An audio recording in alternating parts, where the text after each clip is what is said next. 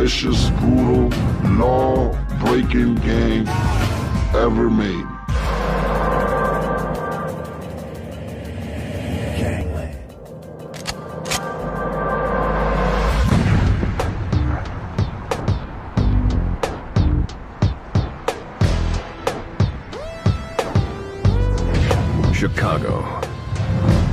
City is the home of championship sports teams, world-class restaurants, and the thumping nightlife.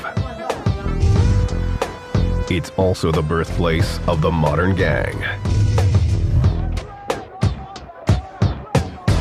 The original Scarface, Al Capone, put Chicago gangs on the map and under his thumb, and changed the way crime happens. You have the history of in Chicago with uh, organized crime, but really even in the mob's heyday, they were not piling up murder victims like the Chicago street gangs are. Capone set up his gang on the north side, where his crew committed some of their most brutal murders.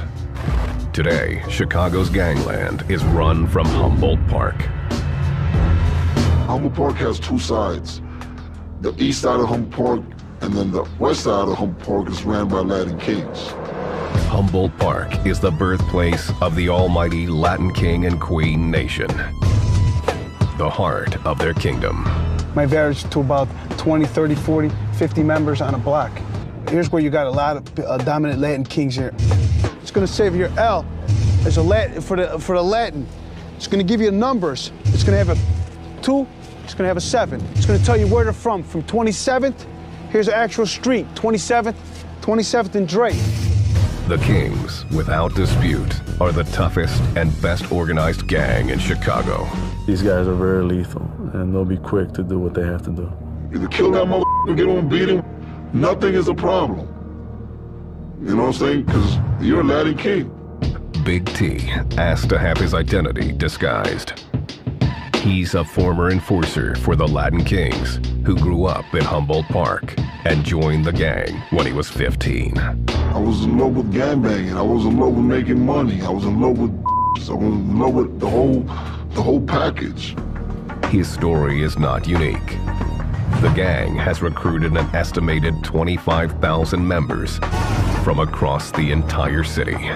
There are too many of us. You can't get rid of us. We're here to stay. It's true not just in Chicago, but across the United States. Chicagoland Kings are the biggest Hispanic gang in Chicago and the country. The Latin Kings are 50,000 strong nationwide, making them a super gang, with huge chapters in four corners of the U.S., including Los Angeles and New York. Yet all roads lead back to the motherland, Chicago, where the Latin Kings desire just three things. And money and power, and drugs. From meth to cocaine to marijuana, they own Chicago's drug trade. The way you make the money is by selling drugs, whether it's cocaine, whether it's marijuana, whether it's ecstasy.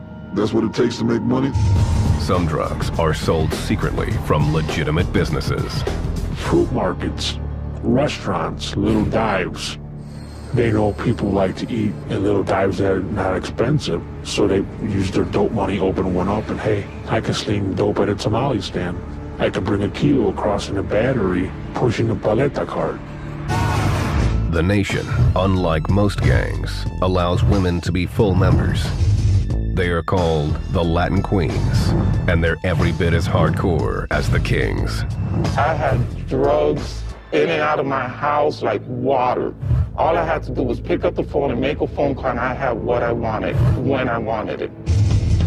Sonia Rodriguez asked to have her identity concealed. Her street name is Lady Q.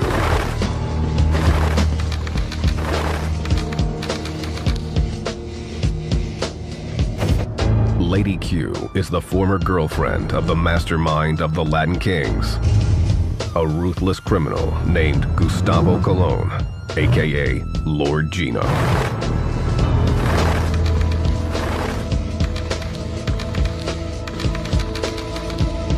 It was rough. Being Gino's girl is rough. It's like being with the whole Latin King Nation. Lord Gino has been locked up for decades, but managed to build the King's criminal empire from behind bars. Lady Q helped him run the streets. I was Gino's eyes and ears. So if one, if I knew that one of the guys was trying to get over on him, whether it was a drug deal or just scamming on him, I used to bring it to Gino's attention. That person used to be dealt with on the spot. Lord Gino is currently behind bars at the Supermax prison in Florence, Colorado. He is on lockdown alongside some of the country's most notorious criminals, but that has done little to diminish his power. You know, he was the original Latin Kings. He is the man. Lord Gino is, uh, we consider him as a corona.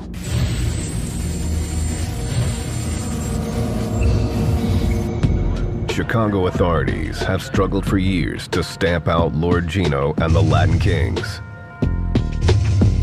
And they've learned there's just one way to do it divide and conquer.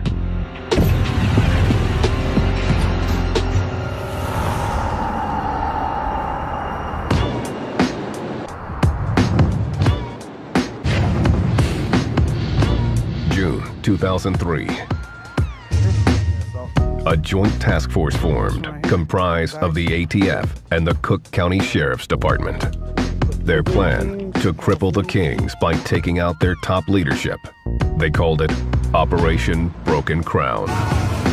There was only one way to gather information about the gang from the inside. We have individuals working off their arrest, or we also have individuals who are working for monetary purposes, and we have individuals working for revenge purposes. Two high ranking informants would help authorities learn confidential information about the Latin King's hierarchy and operations. But to gather evidence to build a case, they needed a mole. Then one landed in their lap. One of the confidential informants had introduced me to a relative who was also Latin king. And based on that introduction, he decided to become a confidential informant with ATF. The Latin King agreed to wear a digital recording device. He was the last person the gang would suspect. The individual was actually the guy in charge of searching all the all the other kings coming into the gang meetings. They were able to bypass all the security uh, or their security checkpoint that they thought they had. The snitch wore a secret bug to meetings. The task force heard the name of one Latin king time and time again Fernando Ace King.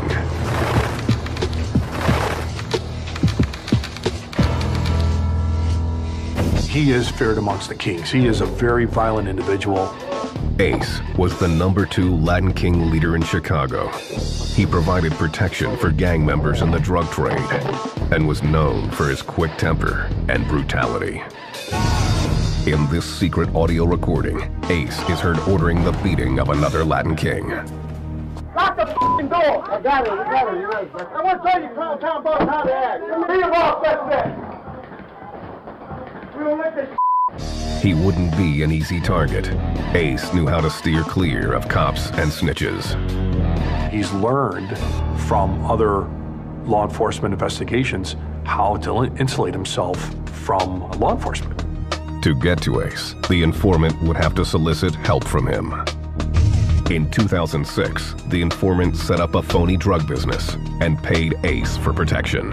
Our informant approached him and said, Well, you know me as a drug dealer, and I'm going to start my drug business again. Will you afford me the same protection that you afford other Latin King gang members?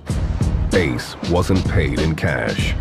So one cold Chicago night, the informant gave Ace a fake kilo of cocaine.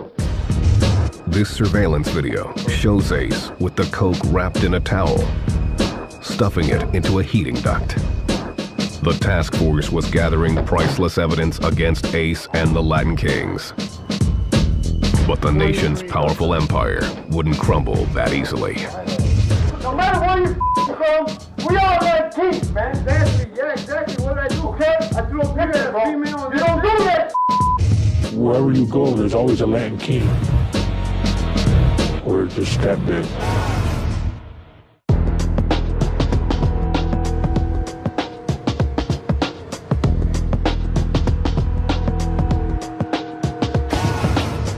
Chicago. Stretched along the cold shores of Lake Michigan, it's home to almost 3 million. To an estimated 25,000 gangbangers who live here, Chicago represents just one thing the almighty Latin King and Queen Nation. They get stronger and stronger. You know, every year they have new recruits. Every year they have new members joining in. It's like a never-ending story.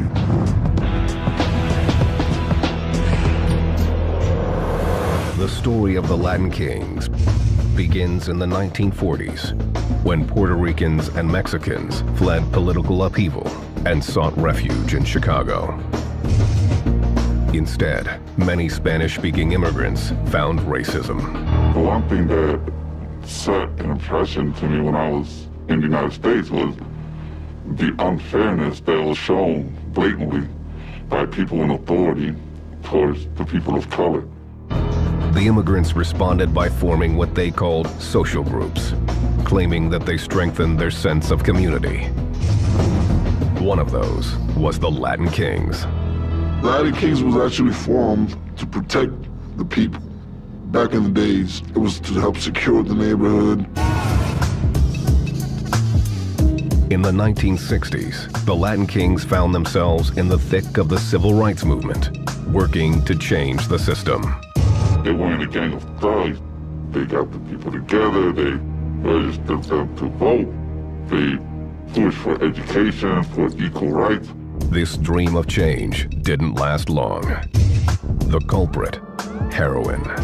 The Latin king saw there was money to be made from addiction, and the nation took a new course. The drug trade got introduced into the neighborhood. The easy money and the greed. People were getting killed left and right. By the early 1970s, the former community group earned a new label as more and more kings got into dealing. You're fighting, you know, a fight might lead to shooting or whatever it might end up being, where now it becomes a street gang. Two young leaders began to emerge as the gang's ranks swelled. On the south side, it was Raul Gonzalez, a Mexican also known as Baby King, or BK. On the north side, it was a Puerto Rican named Gustavo Colon, known as Gino. Even at the age of 18, he stood out. He did have that kind of power and that kind of charisma. His stature was that big. The Chicago PD was noticing Gino as well, for all the wrong reasons. On September 28, 1972, they charged Gino with shooting and killing another teen in the Humboldt Park neighborhood. Gino was convicted of murder and sent to Stateville Prison in Joliet, Illinois for 30 to 60 years. Once inside, he began to compose a system of intricate laws for the Latin Kings. He called it a constitution. While he was in prison, he made those codes of conduct and the rules for all the Latin Kings all over. And then they were all spread out to all the nation, to the hoods, and, and everybody had to abide by those rules. The code of conduct became the lifeblood of the nation. Back then, it was straight. You were a Latin king, you had to learn your laws, you had to know what your beliefs were. Puerto Rican immigrant Reymundo Sanchez was only too willing to follow Gino's rules. The 11 year old lived in fear of an abusive stepfather and wanted a way out. I remember he pulled out a 38 snub nose and he put it up my head. He cocked the hammer and my sister and my mother came running and got between the gun and so he didn't get a chance to shoot me. His escape was hanging with the Latin kings in his neighborhood. They were kids that basically accepted me for who I was, where I was allowed to express myself. He even tried to sell the Kings the gun his stepfather had pulled on him. They wouldn't buy it basically because they knew I hung out with them. That's going to be the first place the cops come looking for that gun. In 1975, Reymundo became a Latin king by way of a violation.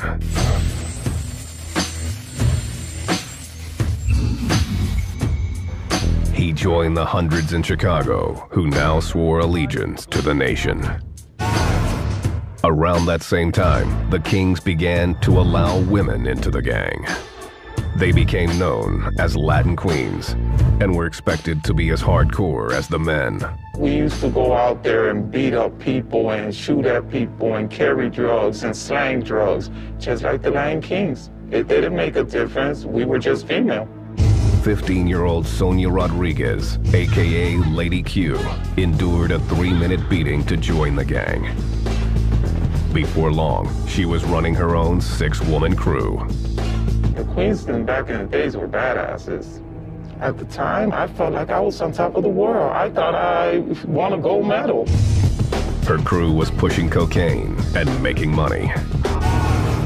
Back then, it was all about making money and trafficking drugs. That was me. I've never seen so many drugs and money than at the time I was a Latin Queen. Well, it's like an expansion of a store. If you weren't willing to be violent and fight for that store, then you weren't welcome. While the gang had other leaders, like BK, Gino was eclipsing them from his prison cell and becoming the face of the Latin Kings. By 1983, he held the title of Corona and was being called Lord Gino by everyone. Lord Gino carried himself like royalty and held court with only a select few. Lord Gino would only deal with certain amount of people. He would never have direct contact with some of the underlings. He would more or less shield himself from the amount of people who could damage him. Most accepted Lord Gino's leadership, except for Lady Q. When word got back that Gino's authority was being questioned, he asked her to visit him at Stateville Prison. This beautiful, handsome man came up to me talking about what you got to say now. And I looked at him, I repeated every word. And ever since that day, he didn't want me to visit nobody. I had to go see him personally. We trusted each other, and there was nothing that I couldn't tell that man. She became Lord Gino's private liaison and greased the wheels with some of his most important allies, the prison guards. I used to meet guards on the south side and pay them off, and they used to take a certain amount of drugs into the penitentiaries for us. Under Lord Gino's guidance, the Kings were taking over Illinois' prisons. Now the Kings are the ones they receive all the drugs in the prison system. And if you want any kind of drugs, you have to go through a Latin King. In 1985, Big T, an enforcer for the Kings, landed in prison on drug charges. His punishment only furthered his business. I was still holding it down in, in the prison because I was still a Latin King, and people still feared me in the prison. I was still winning the deck that I was on.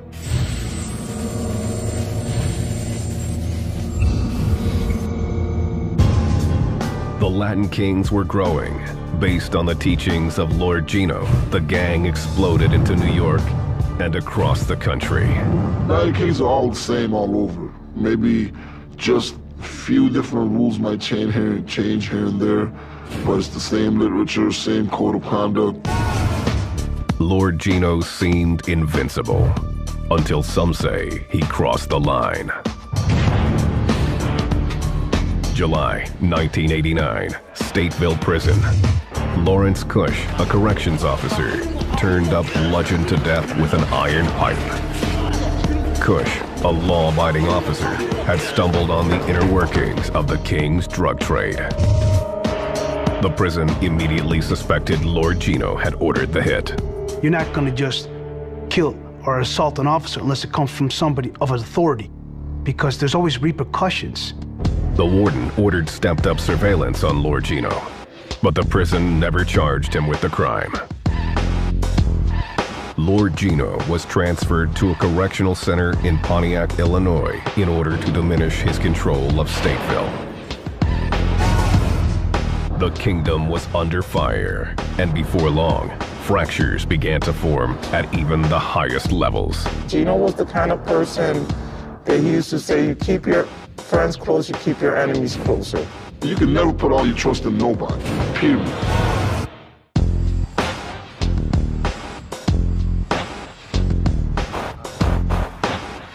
The almighty Latin king and queen nation. Born and bred in the Humboldt Park neighborhood in Chicago. The oldest and largest Hispanic gang in America. It can be found in almost every state. You got brothers from Texas, from New York, from Connecticut, North Carolina, South Carolina, California, basically in almost 41 states. The Super Gang follows an intricate system of rules, symbols, and hierarchies dreamed up by the King of Kings, Gustavo Colon, aka Lord Gino. There's literature and, I mean, it's just so much more organized than any other street gang. That organization starts with the gang structure, which mimics a corporation. In Chicago, it's divided into regions. Montrose, Humboldt Park, South Chicago, Little Village, and Crown Town. Inside each region are dozens of chapters, which are largely divided by neighborhood. The chapters and regions are governed by an elaborate hierarchy that begins with the two Coronas, Lord Gino and BK. Then come regional officers, similar to generals. There would be 15 to 20 chapters to one region officer. It would go from North coronas to the region officers. The region officers had a certain amount of chapters under them. Nation enforcers were to run all the chapters under them. The power flows downward. At the top of each chapter are Incas, the highest ranking officers. The cacique, Spanish for chief, is second in command. Each chapter has an enforcer who makes sure everyone follows the rules. Finally, there are the Latin King soldiers, the backbone of the gang. It's basically a chain of command, and everybody has to follow it. The street soldiers patrol the streets, guarding the king's turf from rivals like the Satan disciples. As the Satan disciple killer. Kings are disrespecting Satan disciples. We got people hiding on the roofs with the guns. Well, you whistle, and you'll see Latin Kings pouring out of every corner. In a city like Chicago, recruiting is a top priority. There's no age limit or race requirement, and recruits come from all over the metro area. All that matters is their willingness to put in work. You could be young as 10 years old. It really doesn't have a number. If you got the heart to do it and you can prove it, we'll initiate you right in. The Kings call potential recruits the new generation. The first step to joining the nation is enduring a brutal violation. Big T ordered scores of these beatings. You could get initiated by taking a violation in, which is a three-minute violation. You got any tattoos on you? The recruits might also have to commit a crime as proof of their loyalty. You check them already? You still want to turn in the Latin King? We might send you to do hits. Pull up your pants, man. Where you, where do you stay at? We might send you to do some missions. We might have you shoot somebody. Have you uh, rob somebody. Have you do some, you know, things in the hood to prove yourself.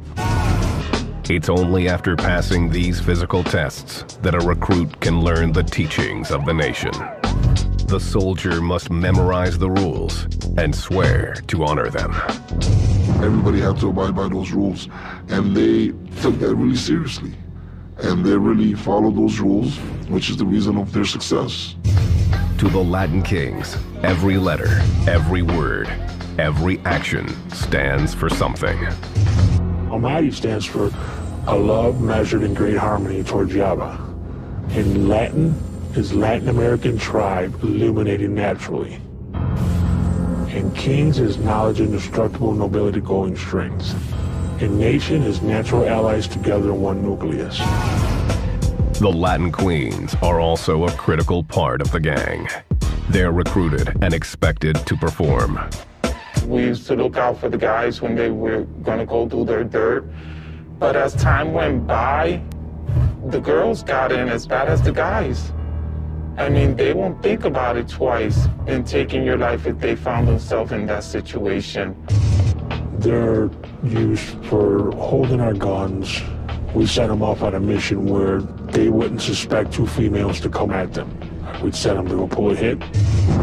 We'd send them to do things for us in our neighborhoods where they wouldn't suspect women at all, but they are Latin queens. Latin kings and queens promise to follow five guiding principles. Once a king, always a king. No king shall engage in gay acts. No kings are supposed to be collaborating with the media. And no king is to lead the nation without the approval from those Coronas. And one king moves, all kings move. Those who break the rules are disciplined at weekly meetings. During these game meetings, they have their leader who plays the judge. You have a legal coordinator who has to represent the guy, and they decide, well, this person's going to get kicked out of the gang if he's going to get violated. In this case, a violation refers to physical punishment. This video shows the violation of a soldier who didn't carry out an order to kill a rival. The Kasinka ordered everybody to get in a circle, which they normally do for the meeting. And then after that, everybody in that house was told to beat that Latin King gang member. They gave him basically a, a minute violation head to toe. The gang members were getting tired after about a minute. They stopped, and the Inca said, no, no, no, continue, continue. Don't stop, man. Don't stop, Joe. Don't stop. You stop. Whoever stop, I'm getting too, man. The nation's ultimate discipline is called the Gold Crush.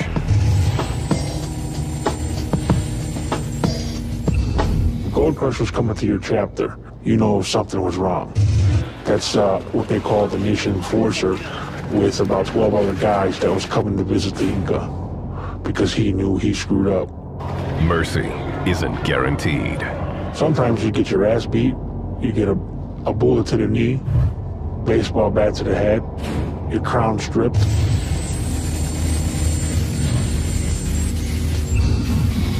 Sometimes even death.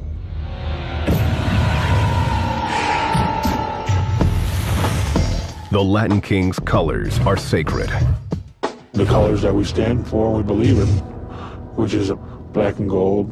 Gold is for the sun, where we pray to Yahweh as we face the east. And black is for darkness amongst all enemies. Their favored symbols are the crown and the lion, icons of courage and pride. These symbols show up everywhere, including the gang's ink. Every Latin King is required to have a tattoo of a crown or just the initials of Latin Kings or dots. Latin King, that's the only thing that they got love for. Everything else, they say f them. The crown also shows up in their tags, which mark their territory. The kings on Chicago's south side, who are largely of Mexican descent, traditionally represent with the five-point crown. The five points represent love, honor, obedience, sacrifice, and righteousness. If you're in Latin Kings territory, you would definitely see markings of a crown with um, L on one side of it and a K on the other side of it, which stands for Latin Kings. Latin King Nation. It's got the five-point crown. The Latin Kings are also known to sport a three-point crown. The three-point crown is primarily used by the Puerto Rican Latin Kings. The Latin King's gang sign resembles the three-point crown, with index, thumb, and little fingers pointed up. Our three-point crown is knowledge, wisdom, and understanding. All Latin kings who represent with the crown know one thing for certain. Death is never far away. King of Kings, Maker of the Universe, and Foundation of Life. As this video from 1990 shows, those who fall are given the ultimate respect. The king being honored here was shot and killed a few days earlier by a rival gang member. King loved yesterday, today, tomorrow, always, and forever. Amor. Amor. Death may be a reality for the kings, but the message to other gangs remains clear. If you mess with one Latin king, you mess with the entire nation.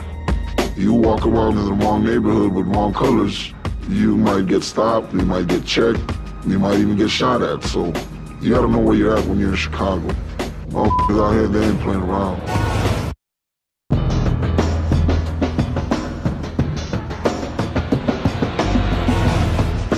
1989, Pontiac, Illinois.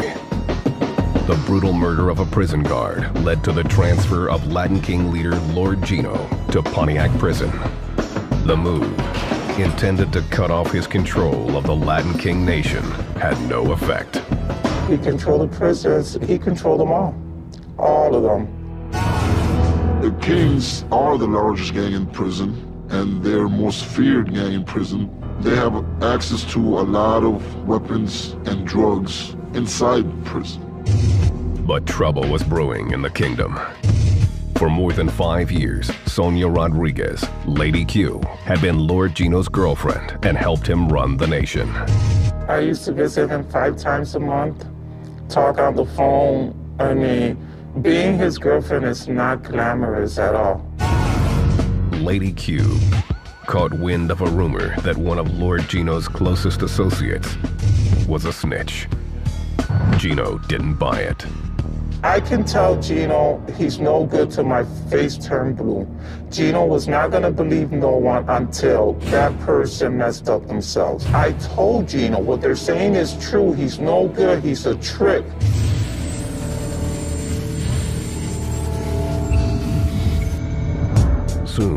Lady Q made a request of the Corona. She was tired of the life and asked Lord Gino to retire. I wanted him to give up his crown, do his time, get out, and make a life with me. That's what I wanted. Lord Gino refused. I guess the power was all to him. That's all that really mattered at the time, was having that power. Lady Q walked away from Gino and her standing as the Queen of Queens. It didn't take long for Lord Gino to find a replacement. In 1990, he was transferred again, this time to Menard Correctional Facility, 350 miles south of Chicago. There, he legally married Marisol Rodriguez. Like Lady Q before her, she became his eyes and ears. He's collaborating with his wife, and uh, he sends a lot of messages through her to the streets. Lord Gino's power seemed undiminished, and he was close to being a free man. In 1997, Lord Gino was finally eligible for parole after spending 25 years in various prisons. He had no idea that behind the scenes, the ATF had been quietly building a federal case against him, uncovering proof of his drug business. He had numerous cell phones. Even as cell phones were starting to become new wave, he had a network that he was able to communicate with people on the outside.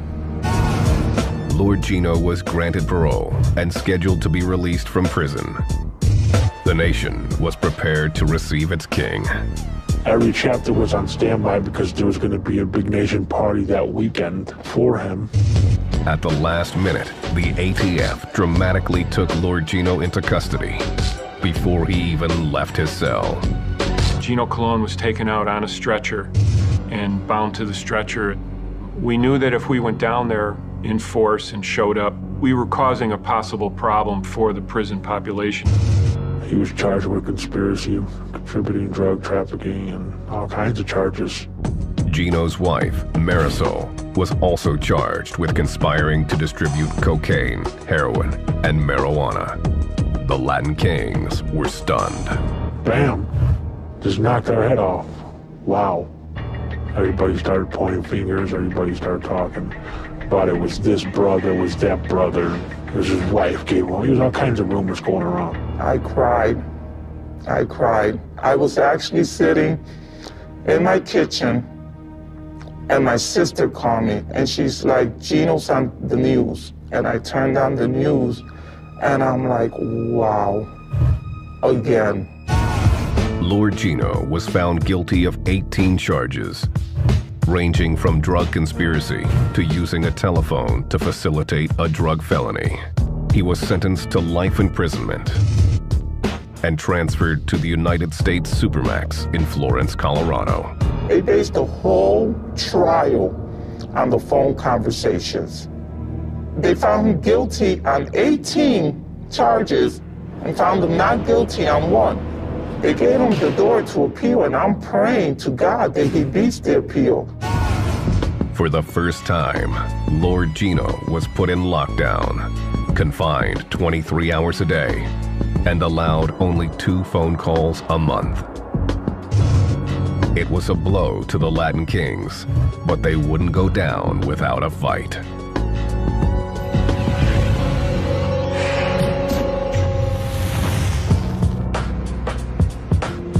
From 1997 to 2003, the Latin Kings expanded their criminal enterprise in Chicago. Latin Kings were heavily involved in the uh, fake green cards for aliens. They were making a lot of money off of that. The gang had other, more sinister scams. What we call tumbes.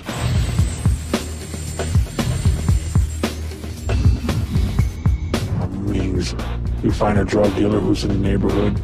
He's not paying taxes to us, so we go and stick up his house and take all his dope and money. They started to create legitimate businesses. Any type of business that's a cash business, because you're allowed to funnel money through it. In December 2003, five years after Lord Gino's arrest, a joint task force mounted yet another major offensive against the Latin Kings. Operation Broken Crown. For three years, the task force gathered hundreds of hours of secret tapes, wires, and recordings, including this violation of a gang member.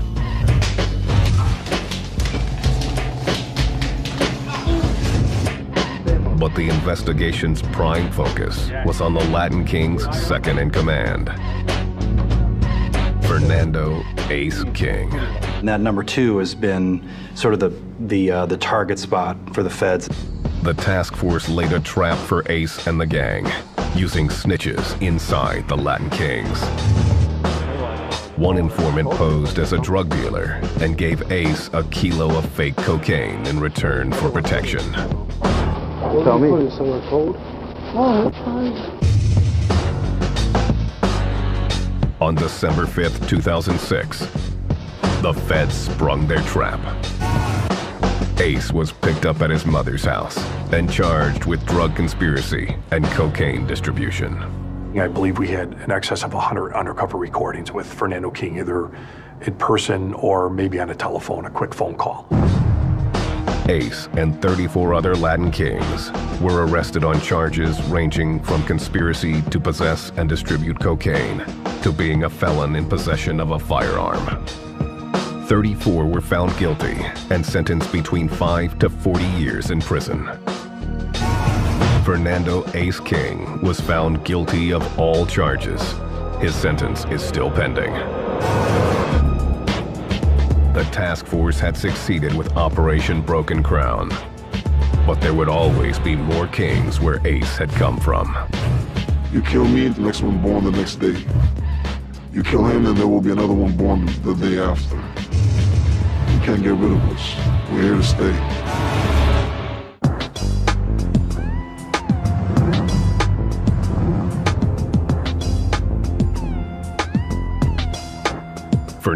40 years, the Latin Kings have ruled Chicago. Their leader, Lord Gino, the almighty Corona, has spent most of that time in prison. Gino is now in exile in the Colorado Supermax prison, cut off from the nation he built from behind bars. His power is diminished, but not extinguished. Lord Gino is, uh, we consider him as a corona. There's certain kings out there that don't give a f- about him. He ain't, he ain't nobody no more. He's locked up. A lot of people fail to realize that, yeah, he's locked up, but he has business still from his wife. Whether you are an old school king or a new school, you know who Lord Gino is, and you know that you have to give your respects to the man regardless. The ATF and Cook County Sheriff's Department Joint Task Force says that with 35 convictions of high ranking Latin kings, Operation Broken Crown was a success. They admit, however, that their investigation only focused on Chicago's south side, leaving the rest of the city untouched.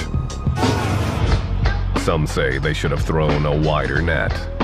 And they did the Operation Broken Crown, they only hit specific streets on the south side. They should have made it a nationwide thing. Chicago authorities track down the Latin Kings every day on these streets. Who do you ride with, bro? Uh, Two seven and Homan also. However, they are realistic about their efforts. When one king goes down, another pops up. I don't really think we can ever win it. I think all we can do is slow it down. Got phones that even say home in the 23rd. See, he's a king from home in the 23rd. And that's just being realistic. I think we can slow it down. You're gonna disappear. No loitering. Go home. It's too cold. The sting serves as a warning to the next leader of the Latin Kings. It's going to be the choice of the next Latin king who wants to be the next Fernando king. Does he want to take a chance of being infiltrated in the future and possibly arrested and, you know, spending the rest of his life in jail? That's the chance that that person has to take. To some kings, the risk of arrest or even death is no longer worth taking. Lady Q left the nation for good in the 1990s after she ended her relationship with Lord Gino. It just wasn't worth it. I didn't want it no more. Either I'm going to go to jail and do a lot of time if I stay in this, or either I walk away and get my together. I chose to walk away. She left with Lord Gino's blessing. It wasn't as easy for Big T to make that choice. I wanted to get out. And first they didn't want me to, you know, get out, but they really can't, they really couldn't hold me back. And if I'm willing to pay the price, then there's nothing that could hold me back. Big T did pay the price, choosing to be violated out of the gang. You get a hit on your face, you get a hit on your body, your your legs. I mean, wherever they're kicking you, they're they're hitting you, however possibly they can hit you. Because that's your violation now. There is nothing no more after that. He still lives in Chicago, but reveals little about his current life. Big T admits that at the end of the day, he's still loyal to the gang. Deep down in my heart, I'm still a Latin king because I still got a lot of love for the nation. You know what I mean? But I just don't want to live that lifestyle anymore. where his crew committed some of their most brutal murders. Today, Chicago's gangland is run from Humboldt Park. Humboldt Park has two sides. The east side of Humboldt Park and then the west side of Humboldt Park is ran by Latin Kings. Humboldt Park is the birthplace of the almighty Latin King and Queen nation. The heart of their kingdom. My vary to about 20, 30, 40, 50 members on a block. Here's where you got a lot of uh, dominant Latin kings here. It's gonna save your L. There's a Latin for the for the Latin. It's gonna give you numbers. It's gonna have a two. It's gonna have a seven. It's gonna tell you where they're from. From 27th. Here's the actual street. 27th, 27th and Drake. The Kings, without dispute, are the toughest and best organized gang in Chicago. These guys are very lethal, and they'll be quick to do what they have to do. Either kill that motherfucker, get on, beat him. Nothing is a problem. You know what I'm saying? Because you're a Latin king. Big T asked to have his identity disguised.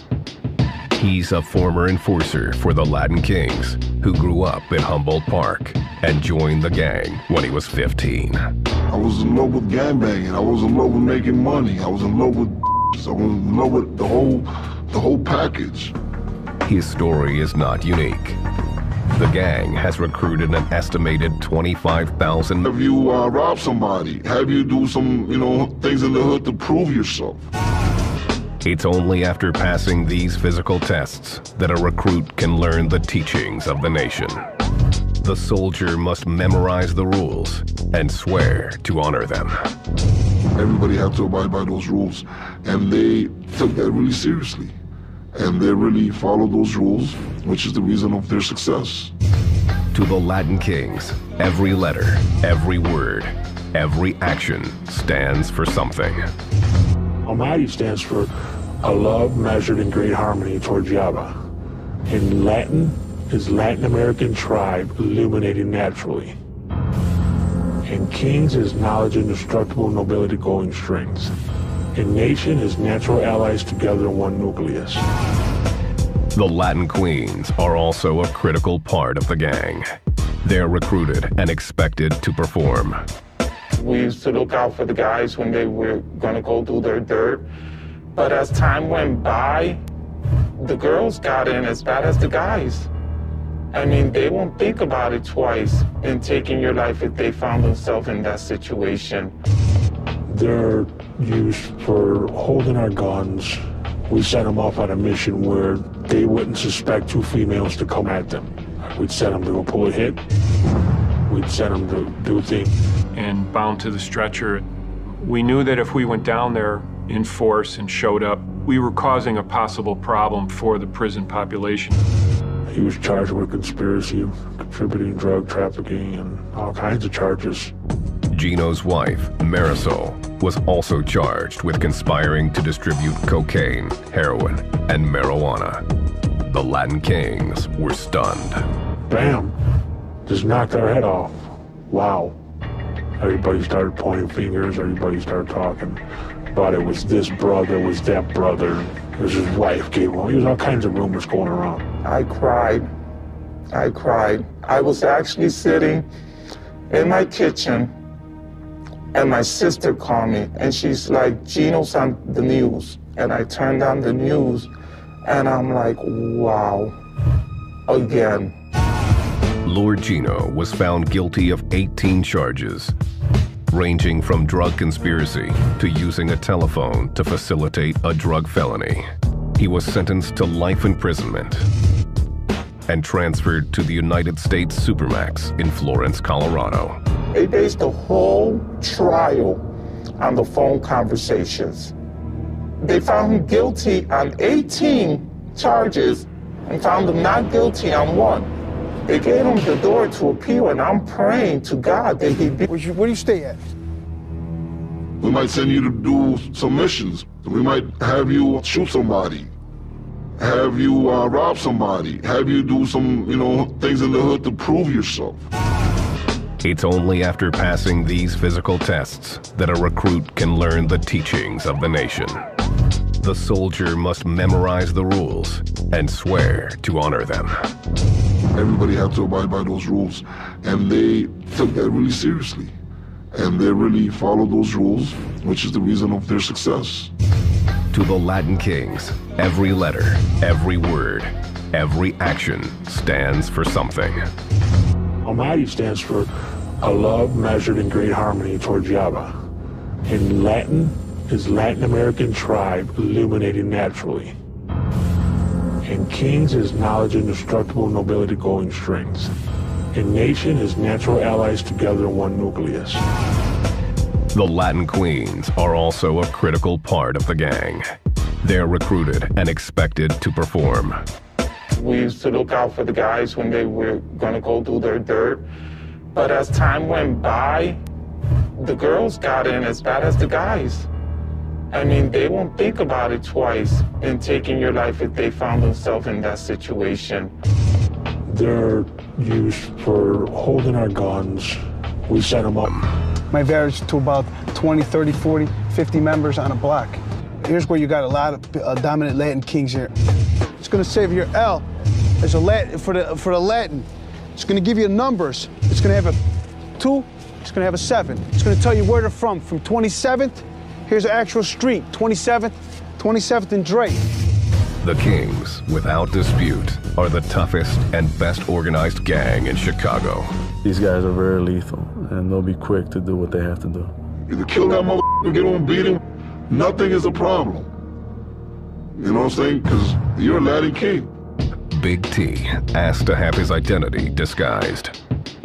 He's a former enforcer for the Latin Kings who grew up in Humboldt Park and joined the gang when he was 15. I was in love with gangbanging. I was in love with making money. I was in love with I was in love with the whole the whole package.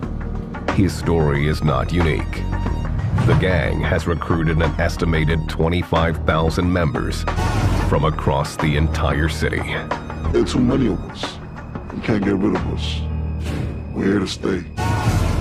It's true not just in Chicago, but across the United States.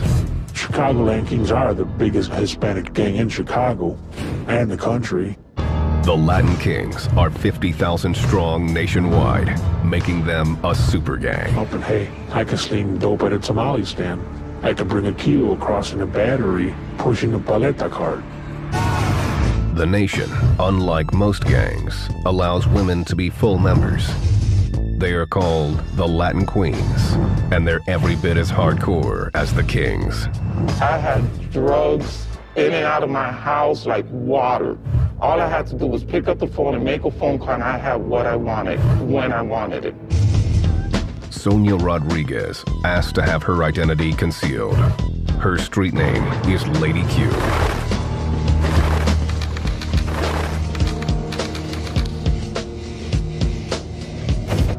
Lady Q is the former girlfriend of the mastermind of the Latin Kings, a ruthless criminal named Gustavo Colon, aka Lord Gino.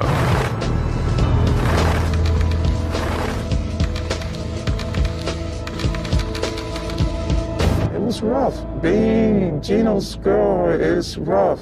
It's like being with the whole Latin King Nation.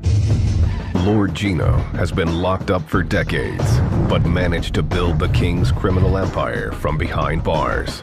Lady Q helped him run the streets. I was Gino's eyes and ears. So if one, if I knew that one of the guys was trying to get over on him, whether it was a drug deal or As Latin queens, and were expected to be as hardcore as the men.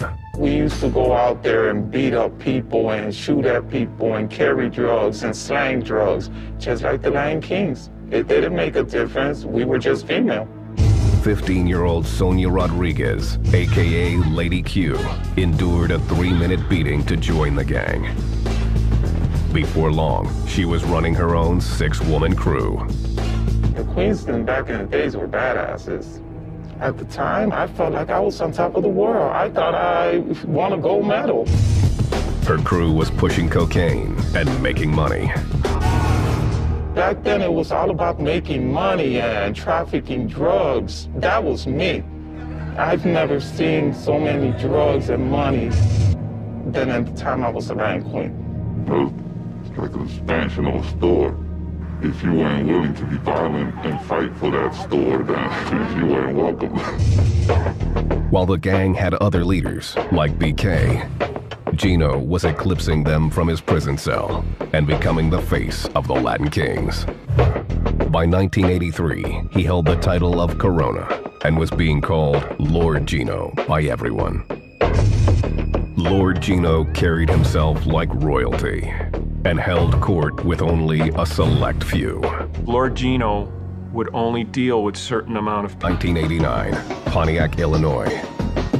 The brutal murder of a prison guard led to the transfer of Latin King leader Lord Gino to Pontiac Prison. The move, intended to cut off his control of the Latin King nation, had no effect. He controlled the prisons. He controlled them all. All of them.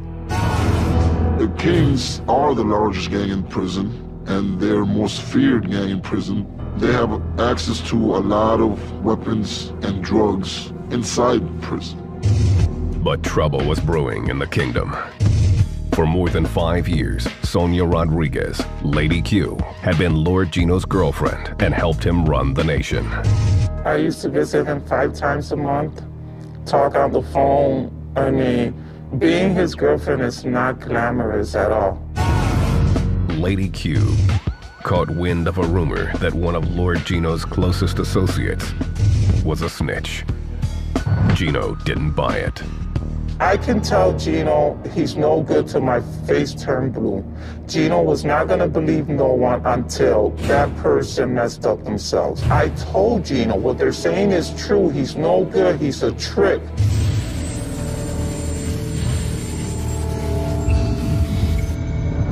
Soon, Lady Q made a request of the Corona. She was tired of the life. Gino, he's no good till my face turned blue. Gino was not gonna believe no one until that person messed up themselves. I told Gino what they're saying is true. He's no good. He's a trick.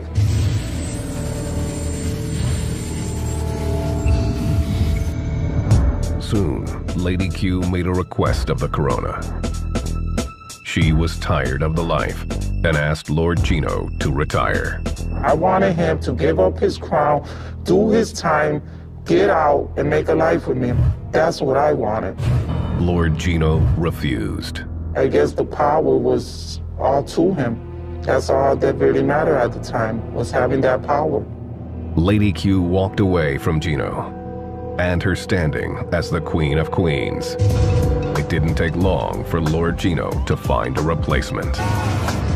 In 1990, he was transferred again, this time to Menard Correctional Facility, 350 miles south of Chicago. There, he legally married Marisol Rodriguez. Like Lady Q before her, she became his eyes and ears. He's collaborating with his wife, and uh, he sends a lot of messages through her to the streets. Lord Gino's power seemed undiminished, and he was close to being a free man. In 1990, the Latin King's colors are sacred. The colors that we stand for, we believe in, which is black and gold. Gold is for the sun, where we pray to Yahweh as we face the east.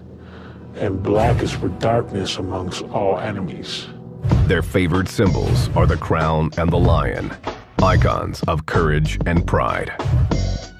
These symbols show up everywhere, including the gang's ink. Every Latin King is required to have a tattoo of a crown or just the initials of Latin Kings or dots.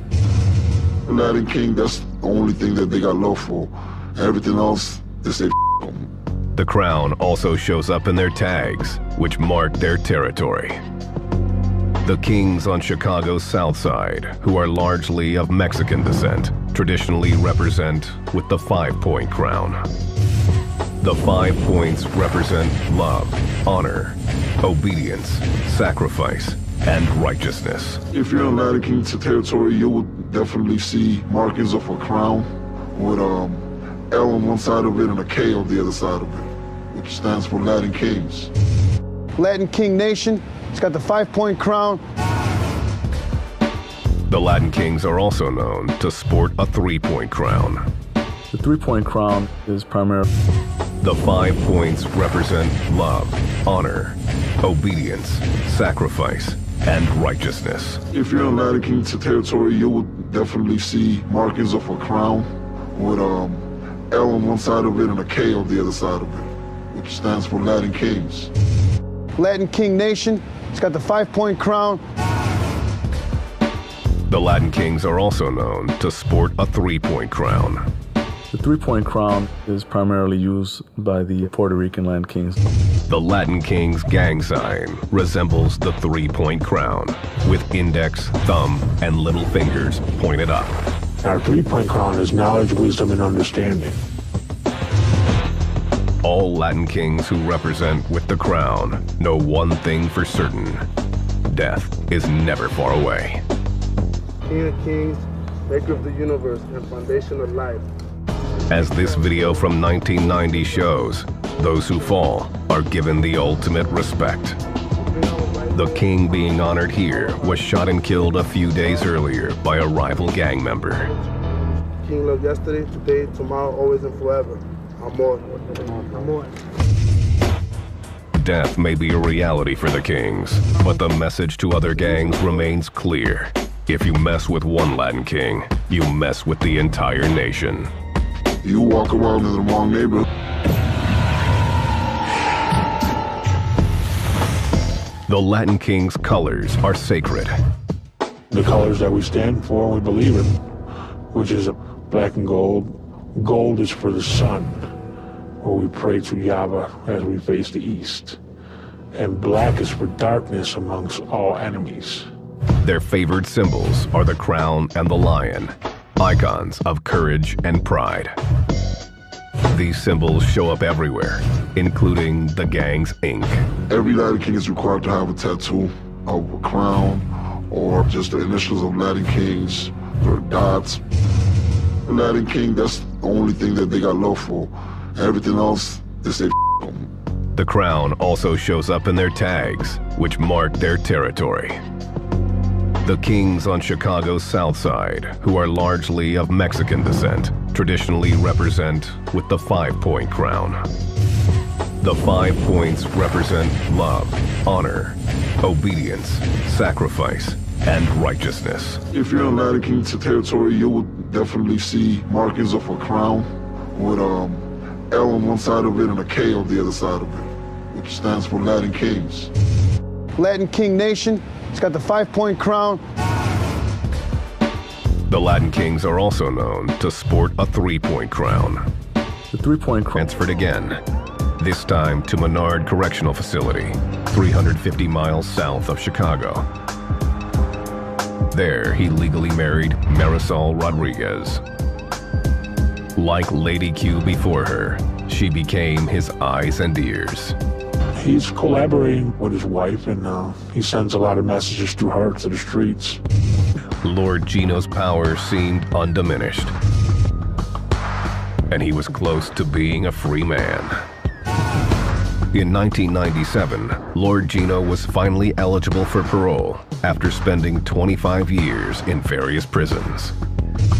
He had no idea that behind the scenes, the ATF had been quietly building a federal case against him, uncovering proof of his drug business. He had numerous cell phones. Even as cell phones were starting to become new wave, he had a network that he was able to communicate with people on the outside. Lord Gino was granted parole and scheduled to be released from prison.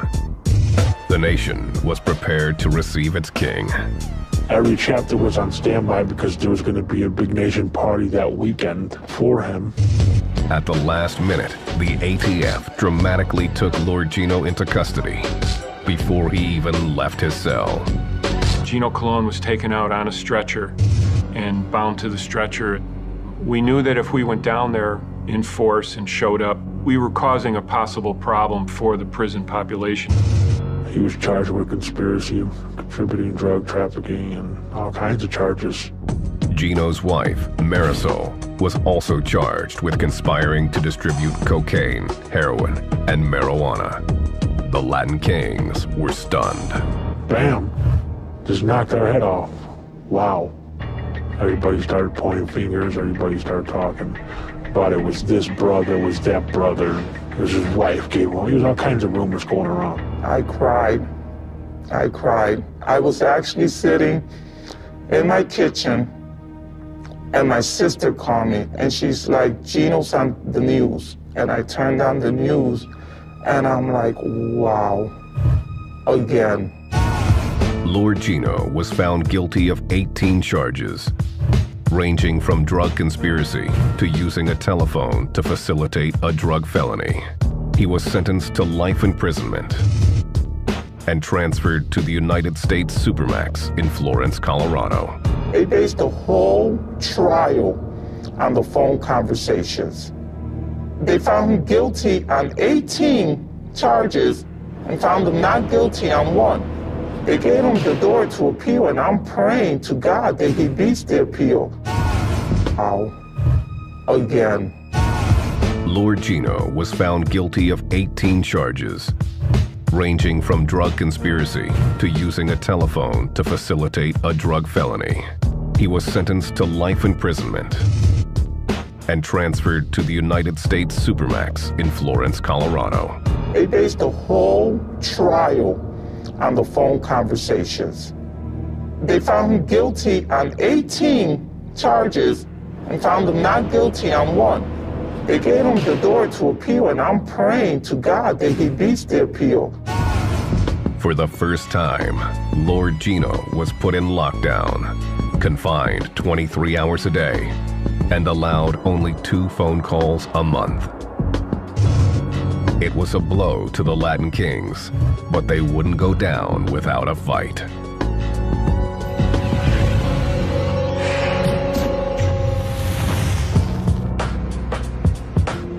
From 1997 to 2003, the Latin Kings expanded their criminal enterprise in Chicago.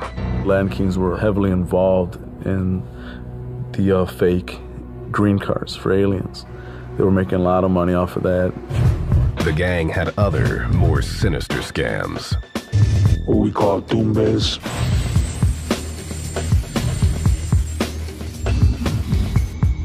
Means we find a drug dealer who's in the neighborhood.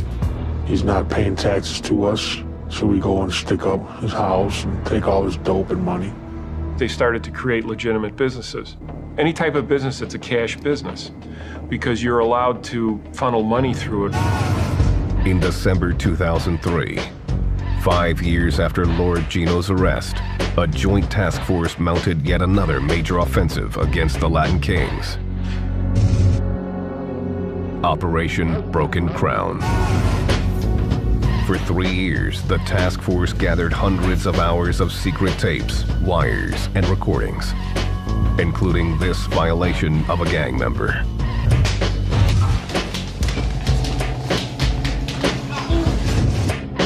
But the investigation's prime focus was on the Latin King's second in command, Fernando Ace King. And that number two has been sort of the the uh, the target spot for the feds. The task force laid a trap for Ace and the gang, using snitches inside the Latin Kings.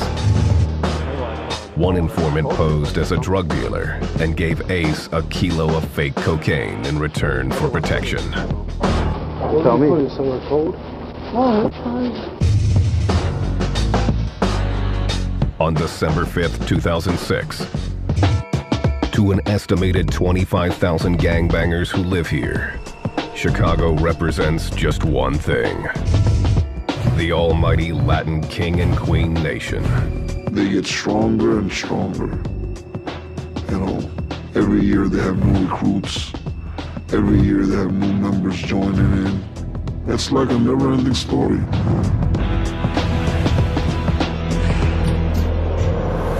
The story of the Latin Kings begins in the 1940s when Puerto Ricans and Mexicans fled political upheaval and sought refuge in Chicago. Instead, many Spanish-speaking immigrants found racism. The one thing that set an impression to me when I was in the United States was the unfairness that was shown blatantly by people in authority towards the people of color. The immigrants responded by forming what they called social groups, claiming that they strengthened their sense of community. One of those was the Latin Kings. Latin Kings was actually formed to protect the people.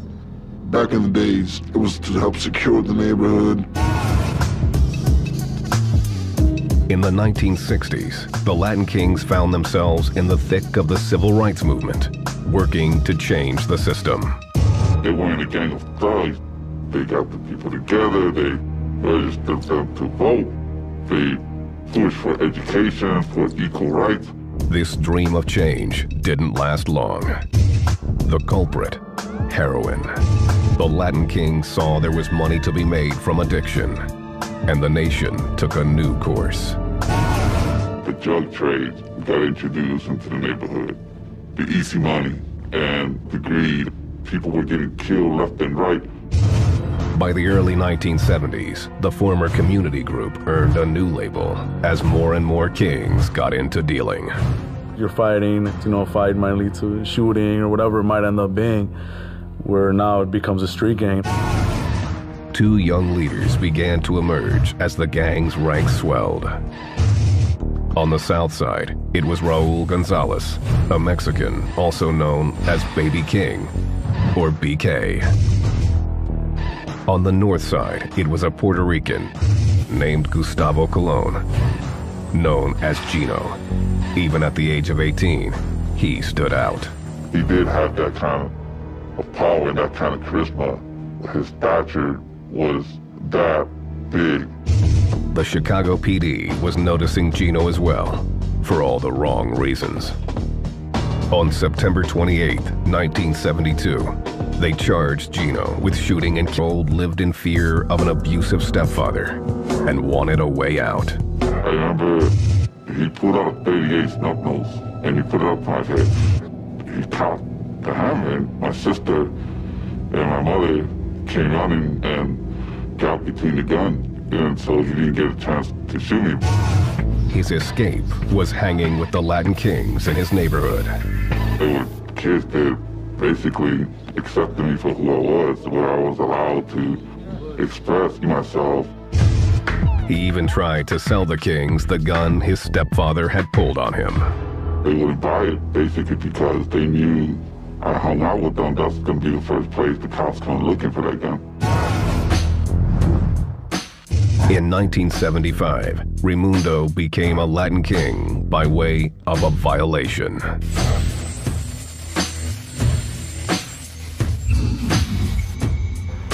He joined the hundreds in Chicago who now swore allegiance to the nation. Around that same time, the Kings began to allow women into the gang. They became known as Latin Queens and were expected to be as hardcore as the men. We used to go out there and beat up people and shoot at people and carry drugs and slang drugs, just like the Latin Kings. It didn't make a difference. We were just female. 15 year old Sonia Rodriguez, aka Lady Q, endured a three minute beating to join the gang. Before long, she was running her own six woman crew. The Queenston back in the days were badasses. At the time, I felt like I was on top of the world. I thought I won a gold medal. Her crew was pushing cocaine and making money. Back then, it was all about making money and trafficking drugs. That was me. I've never seen so many drugs and money than at the time I was a Latin Queen. It was like an expansion of a store. If you weren't willing to be violent and fight for that store, then you weren't welcome. While the gang had other leaders, like BK, Gino was eclipsing them from his prison cell and becoming the face of the Latin Kings. By 1983, he held the title of Corona and was being called Lord Gino by everyone. Lord Gino carried himself like royalty and held court with only a select few. Lord Gino would only deal with certain amount of people. He would never have direct contact with some of the underlings. He would more or less shield himself from the amount of people who could damage him. Most accepted Lord Gino's leadership, except for Lady Q. When word got back that G Ace was the number two Latin King leader in Chicago, he provided protection for gang members in the drug trade and was known for his quick temper and brutality. In this secret audio recording, Ace is heard ordering the beating of another Latin king. Lock the f***ing door. I got it. I got it. You're right. I want to tell you, Crown Town boss, how to act. Be your boss, that's that. We don't let this He wouldn't be an easy target. Ace knew how to steer clear of cops and snitches. He's learned from other law enforcement investigations how to insulate himself from law enforcement. To get to Ace, the informant would have to solicit help from him. In 2006, the informant set up a phony drug business and paid Ace for protection. Our informant approached him and said, Well, you know me as a drug dealer, and I'm going to start my drug business again. Will you afford me the same protection that you afford other Latin King gang members? Ace wasn't paid in cash. So one cold Chicago night, the informant gave Ace a fake kilo of cocaine. This surveillance video shows Ace with the coke wrapped in a towel, stuffing it into a heating duct. The task force was gathering priceless evidence against Ace and the Latin Kings. But the nation's powerful empire wouldn't crumble that easily. No matter where you from, we all like kings, man. You don't do that Wherever you go, there's always a Latin king. Or just that big.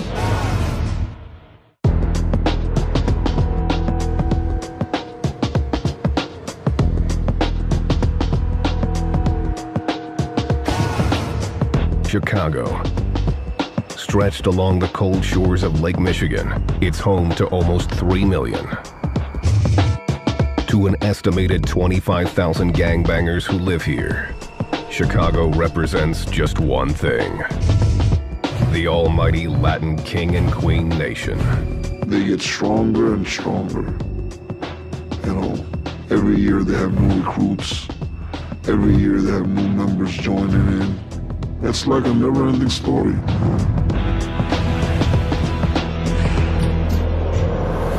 The story of the Latin Kings begins in the 1940s when Puerto Ricans and Mexicans fled political upheaval and sought refuge in Chicago. Instead, many Spanish-speaking immigrants found racism. The one thing that set an impression to me when I was in the United States was the unfairness that was shown. Recording device. He was the last person the gang would suspect. The individual was actually the guy in charge of searching all the all the other kings coming into the game meetings. They were able to bypass all the security uh, or their security checkpoint that they thought they had. The snitch wore a secret bug to meetings. The task force heard the name of one Latin king time and time again. Fernando Ace King.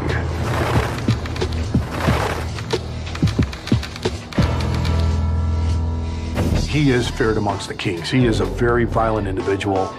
Ace was the number two Latin King leader in Chicago. He provided protection for gang members in the drug trade and was known for his quick temper and brutality.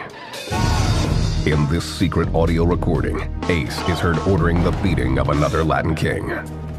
Lock the f***ing door! I got it, I got it, you're right. I want to tell you, Crown Town boss, how to act. Be your boss, that's that. He wouldn't be an easy target. Ace knew how to steer clear of cops and snitches. He's learned from other law enforcement investigations how to insulate himself from law enforcement. To get to Ace, the informant would have to solicit help from him. In 2006, the informant set up a phony drug business and paid Ace for protection. Our informant approached him and said, Well, you know me as a drug dealer, and I'm going to start my drug business again. Will you afford me the same protection that you afford other Latin King gang members? Ace wasn't paid in cash. So one cold Chicago night, the informant gave Ace a fake kilo of cocaine. This surveillance video shows Ace with the coke wrapped in a towel, stuffing it into a heating duct. The task force was gathering priceless evidence against Ace and the Latin Kings. But the nation's powerful empire wouldn't crumble that easily. No matter where you f***ing from, we all like kings, man. Exactly, yeah, exactly what I do, okay? I threw a picture of a female. You don't do that Wherever you go, there's always a Latin king. Or just that big.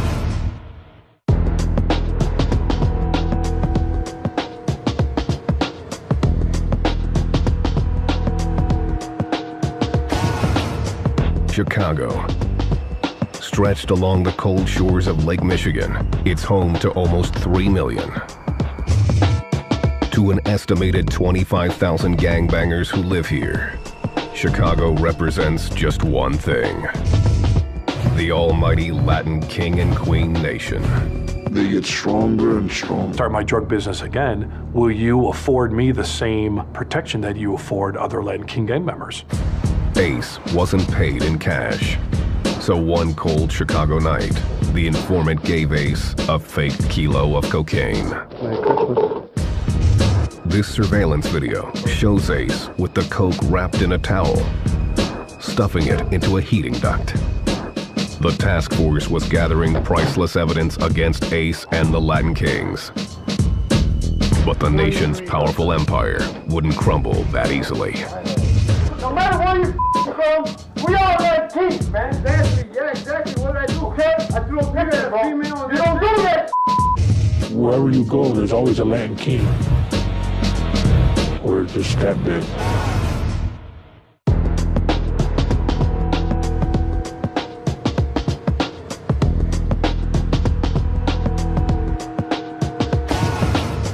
Chicago.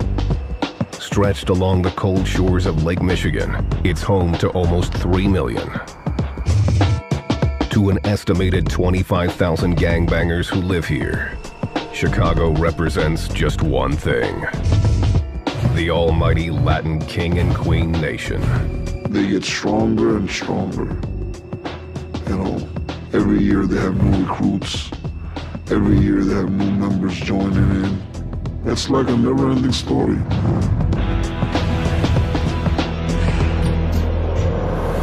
The story of the Latin Kings begins in the 1940s when Puerto Ricans and Mexicans fled political upheaval and sought refuge in Chicago. Instead, many Spanish-speaking immigrants found racism. The one thing that set an impression to me when I was in the United States was the unfairness that was shown blatantly by people in authority towards the people of color. The immigrants responded by forming what they called social groups, claiming that they strengthened their sense of community. One of those was the Latin Kings. Latin Kings was actually formed to protect the people. Back in the days, it was to help secure the neighborhood. In the 1960s, the Latin Kings found themselves in the thick of the civil rights movement, working to change the system. They weren't a gang of thugs. They got the people together, they registered them to vote, they pushed for education, for equal rights. This dream of change didn't last long. The culprit, heroin. The Latin Kings saw there was money to be made from addiction, and the nation took a new course. The drug trade got introduced into the neighborhood. The easy money and the greed. People were getting killed left and right. By the early 1970s, the former community group earned a new label as more and more kings got into dealing. You're fighting, you know, a fight might lead to shooting or whatever it might end up being, where now it becomes a street gang. Two young leaders began to emerge as the gang's ranks swelled. On the south side, it was Raul Gonzalez, a Mexican also known as Baby King, or BK. On the north side, it was a Puerto Rican named Gustavo Colon, known as Gino. Even at the age of 18, he stood out. He did have that kind of power and that kind of charisma. His stature was that big. The Chicago PD was noticing Gino as well, for all the wrong reasons. On September 28, 1972, they charged Gino with shooting and killing another teen in the Humboldt Park neighborhood. Gino was convicted of murder and sent to Stateville Prison in Joliet, Illinois for 30 to 60 years. Once inside, he began to compose a system of intricate laws for the Latin Kings. He called it a constitution. While he was in prison, he made those codes of conduct and the rules for all the Latin Kings all over. And then they were all spread out to all the nation, to the hoods, and, and everybody had to abide by those rules. The code of conduct became the lifeblood of the nation. Back then, it was straight. You were a land king, you had to learn your laws, you had to know what your beliefs were. Puerto Rican immigrant Reymundo Sanchez was only too willing to follow Gino's rules. The 11 year old lived in fear of an abusive stepfather and wanted a way out. I remember he pulled out a 38 snub nose and he put it up my head. He cocked the hammer and my sister and my mother came running and got between the gun and so he didn't get a chance to shoot me. His escape was hanging with the Latin Kings in his neighborhood. They were kids that basically accepted me for who I was, where I was allowed to express myself. He even tried to sell the Kings the gun his stepfather had pulled on him. They wouldn't buy it basically because they knew I hung out with them. That's going to be the first place the cops come looking for that gun. In 1975, Reymundo became a Latin king by way of a violation. Oh, Otto. They based the whole trial on the phone conversations. They found him guilty on 18 charges and found him not guilty on one. They gave him the door to appeal, and I'm praying to God that he beats the appeal. For the first time, Lord Gino was put in lockdown, confined 23 hours a day, and allowed only two phone calls a month. It was a blow to the Latin Kings, but they wouldn't go down without a fight.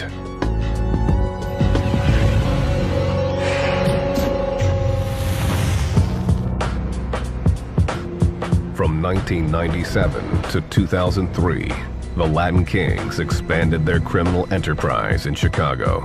Latin Kings were heavily involved in the uh, fake green cards for aliens. They were making a lot of money off of that.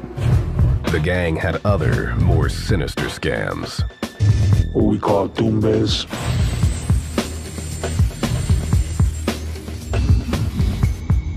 Means we find a drug dealer who's in the neighborhood. He's not paying taxes to us, so we go and stick up his house and take all his dope and money. They started to create legitimate businesses. Any type of business that's a cash business, because you're allowed to funnel money through it. In December 2003, five years after Lord Gino's arrest, a joint task force mounted yet another major offensive against the Latin Kings.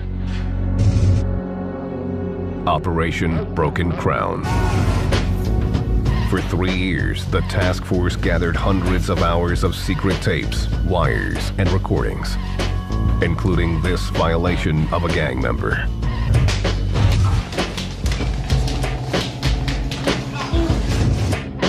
But the investigation's prime focus was on the Latin King's second in command, Fernando Ace King. And that number two has been sort of the the uh, the target spot for the feds. The task force laid a trap for Ace and the gang, using snitches inside the Latin Kings. One informant posed as a drug dealer and gave Ace a kilo of fake cocaine in return for protection. Tell me. Somewhere cold.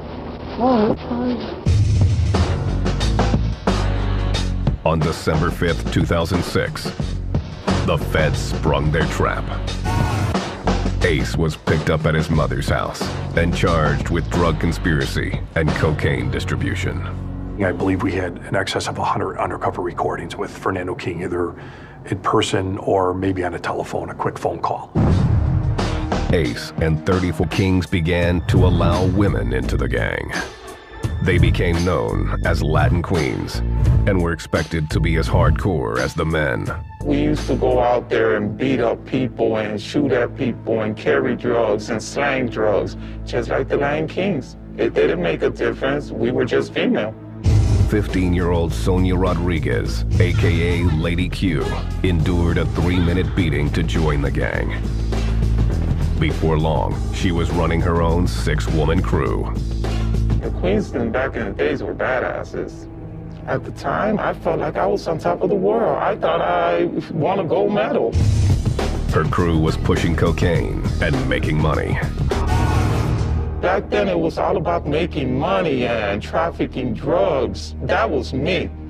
I've never seen so many drugs and money than at the time I was a Latin Queen. Well, it's like an expansion of a store. If you weren't willing to be violent and fight for that store, then you weren't welcome. While the gang had other leaders, like BK, Gino was eclipsing them from his prison cell and becoming the face of the Latin Kings.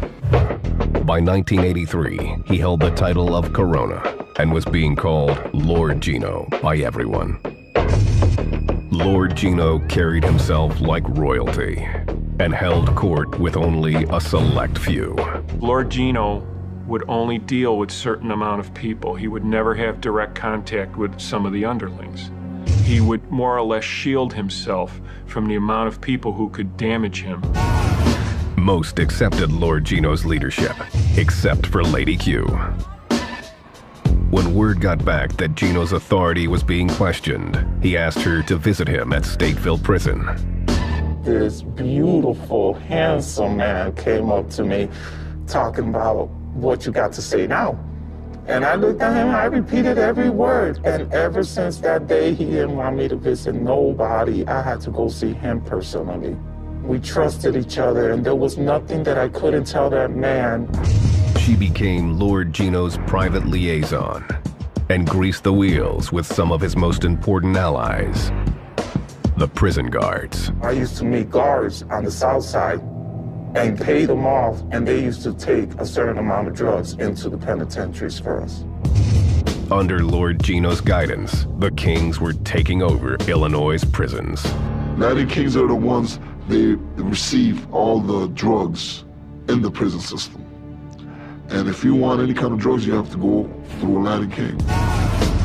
In 1985, Big T, an enforcer for the Kings, landed in prison on drug charges his punishment, and grease the wheels with some of his most important allies, the prison guards. I used to meet guards on the south side and pay them off, and they used to take a certain amount of drugs into the penitentiaries for us.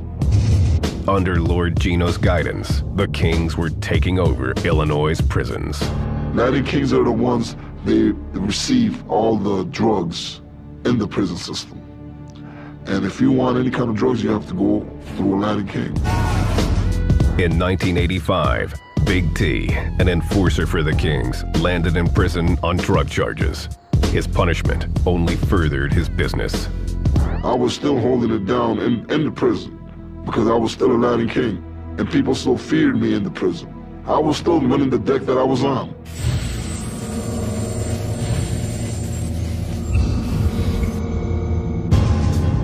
The Latin Kings were growing. Based on the teachings of Lord Gino, the gang exploded into New York and across the country. Latin Kings are all the same all over. Maybe just a few different rules might change here and change here and there, but it's the same literature, same code of conduct. Lord Gino seemed invincible, until some say he crossed the line. July 1989, Stateville Prison. Lawrence Kush, a corrections officer, turned up bludgeoned to death with an iron pipe. Kush, a law-abiding officer, had stumbled on the inner workings of the King's drug trade. The prison immediately suspected Lord Gino had ordered the hit. You're not going to just kill or assault an officer unless it comes from somebody of authority, because there's always repercussions. The warden ordered stepped up surveillance on Lord Gino, but the prison never charged him with the crime. Lord Gino was transferred to a correctional center in Pontiac, Illinois in order to diminish his control of Stateville. The kingdom was under fire, and before long, fractures began to form at even the highest levels. Gino was the kind of person that he used to say, you keep your friends close, you keep your enemies closer. You can never put all your trust in nobody, period.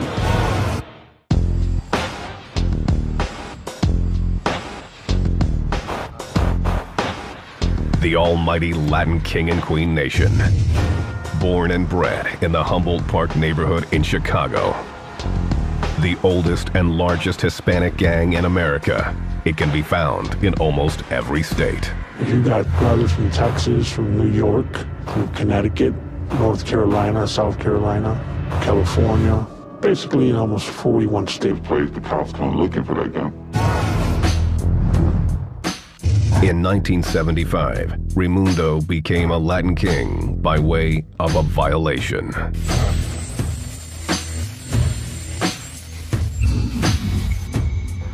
He joined the hundreds in Chicago who now swore allegiance to the nation. Around that same time, the Kings began to allow women into the gang. They became known as Latin Queens and were expected to be as hardcore as the men.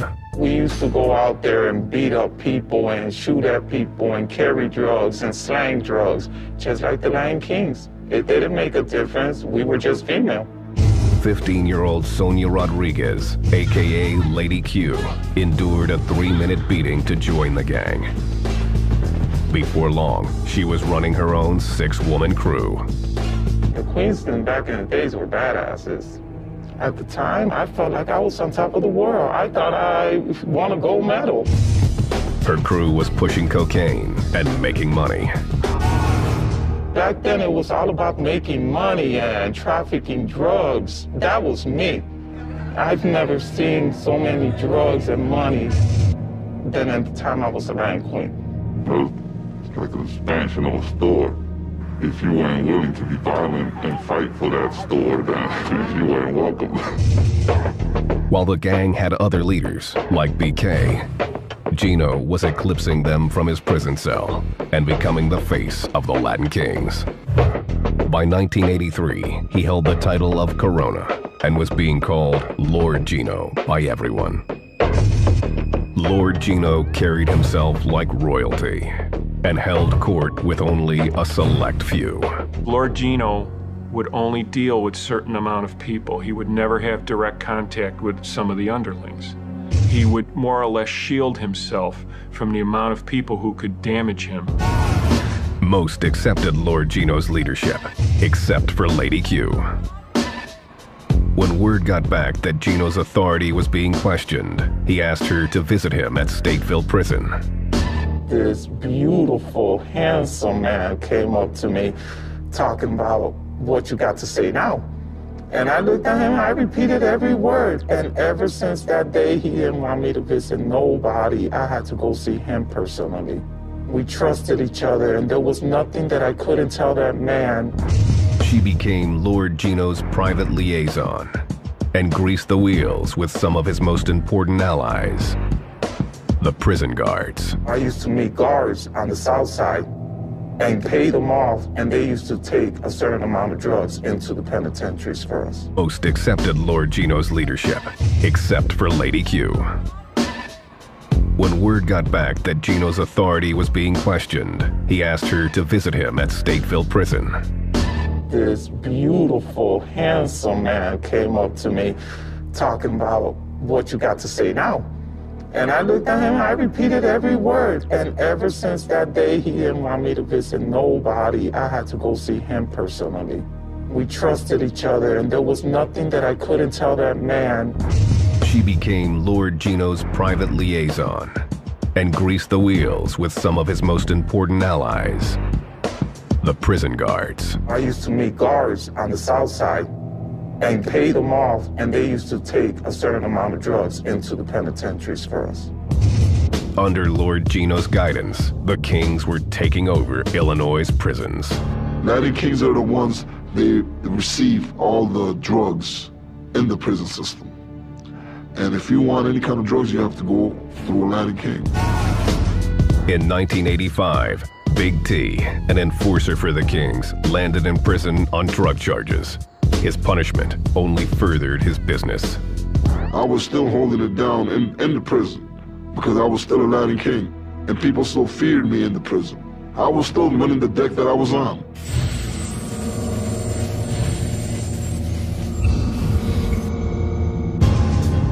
The Latin Kings were growing. Based on the teachings of Lord Gino, the gang exploded into New York and across the country. Latin Kings are all the same all over. Maybe just few different rules might change here, change here and there, but it's the same literature, same code of conduct. Lord Gino seemed invincible, until some say he crossed the line. July 1989, Stateville Prison. Lawrence Cush, a corrections officer, turned up bludgeoned to death with an iron pipe.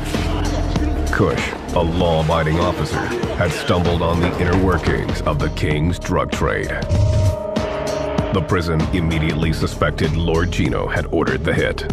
You're not going to just kill or assault an officer unless it comes from somebody of authority, because there's always repercussions. The warden ordered stepped-up surveillance on Lord Gino, but the prison never charged him with the crime. Lord Gino was transferred to a correctional center in Pontiac, Illinois, in order to diminish his control of Stateville. The kingdom was under fire, and before long, fractures began to form at even the highest levels. Gino was the kind of person that he used to say, you keep your friends. Were gonna go do their dirt. But as time went by, the girls got in as bad as the guys. I mean, they won't think about it twice in taking your life if they found themselves in that situation. They're used for holding our guns. We sent them off on a mission where they wouldn't suspect two females to come at them. We'd send them to go pull a hit. We'd send them to do things. And bound to the stretcher, we knew that if we went down there in force and showed up, we were causing a possible problem for the prison population. He was charged with conspiracy, contributing drug trafficking, and all kinds of charges. Gino's wife, Marisol, was also charged with conspiring to distribute cocaine, heroin, and marijuana. The Latin Kings were stunned. Bam! Just knocked their head off. Wow. Everybody started pointing fingers, everybody started talking about it was this brother, it was that brother. It was his wife gave him. There was all kinds of rumors going around. I cried. I cried. I was actually sitting in my kitchen and my sister called me and she's like, Gino's on the news. And I turned on the news and I'm like, wow, again. Lord Gino was found guilty of 18 charges, ranging from drug conspiracy to using a telephone to facilitate a drug felony.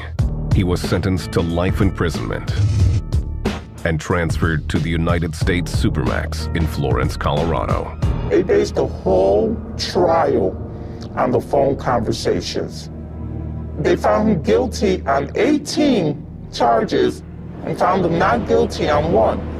They gave him the door to appeal, and I'm praying to God that he be. Where, you, where do you stay at? We might send you to do some missions. We might have you shoot somebody, have you uh, rob somebody, have you do some, you know, things in the hood to prove yourself. It's only after passing these physical tests that a recruit can learn the teachings of the nation. The soldier must memorize the rules and swear to honor them. Everybody had to abide by those rules, and they took that really seriously. And they really followed those rules, which is the reason of their success. To the Latin Kings, every letter, every word, every action stands for something. Almighty stands for a love measured in great harmony towards Yahweh. In Latin, is Latin American tribe illuminating naturally. and kings is knowledge and indestructible nobility going strengths, and nation is natural allies together in one nucleus. The Latin Queens